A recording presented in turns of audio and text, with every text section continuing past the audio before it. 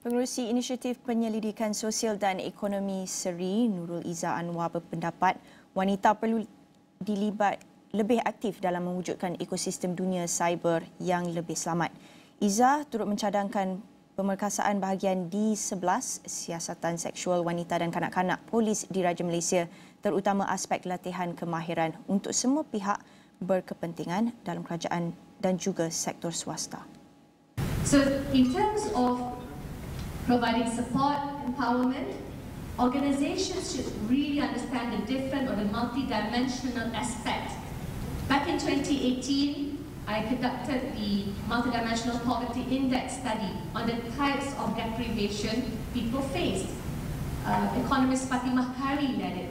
But I'm, I'm shocked to realize when you talk about children, right? Access to internet, access to safe internet because you assume that it's enough to have access and basically stream the World Wide Web. But now with the many dimensions and the many apps, we must know how to make sure that we provide a safe, regulate um, environment so that they can access, they can get this information in the best way possible. Beliau berkata demikian ketika menjadi panel Women in Cyber 2024 WIC 2024 dalam sesi diskusi bertajuk Breaking Barriers, Shaping the Future, Mentoring and Empowering Women in the Current Workforce pada Khamis.